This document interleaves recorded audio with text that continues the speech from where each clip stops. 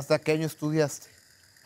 Pues estudié high school en Canadá, o sea, freshman, junior, sophomore, y ya, no estudié más. Después aquí estudié cursos, y sí estudié vocalización y actuación, pero no, no, no llegué a estudiar más. Oye, Julisa, ¿y qué pasa cuando te lanzas como cantante? En aquel entonces, ¿quiénes eran las estrellas juveniles de la música? Pues ya había grabado María Eugenia Rubio y le había ido bien. Otra chica, Gloria Ríos, que cantaba como jazz. Yo empecé a cantar y, a los pocos meses empezó Angélica María. En realidad no, fuimos muchas las, las cantantes mujeres.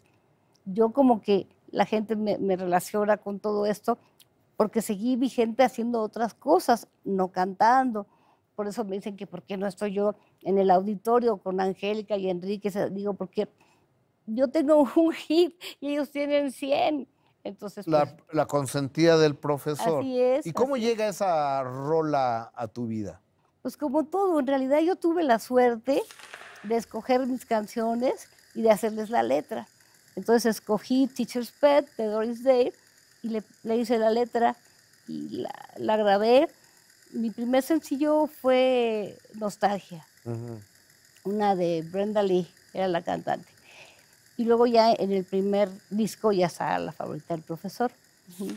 Oye, Julisa, hablando de, tu hermano, de, Luis de Llano, pues él ha escrito de Avándaro y que estuvo ahí y demás. Yo preguntaría, ¿su hermanita, un año mayor que Luis, también fue a Vándaro? ¿Sabes que no fui? Porque estábamos Benny papá, porque así se llama, en la familia él es Benny papá. Sí, yo sé. Y yo estábamos haciendo una obra que se llamaba Las mariposas son libres. Entonces cuando íbamos en la noche ya rumbo a la casa, vimos salir así el montonal de gente que iban a Vándaro y nos moríamos de ganas de ir, pero pues no pudimos ir. Así fue. El minuto que cambió mi destino Sábados 9 pm. Participa en Imagen Televisión.